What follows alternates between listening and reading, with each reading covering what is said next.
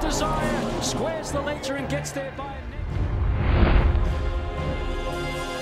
Sight Winner in front from Beauty Flash, chade away. Rajsaman, Sorpresa, is being cuddled here, being called upon now by Lemaire. Thumbs Up's into the clear. Wider out, Good Ba Ba. Royal Bench and Paco Boy'll have to be good to win from there. It's Beauty Flash the leader. Under siege though as the mare Sorpresa races up.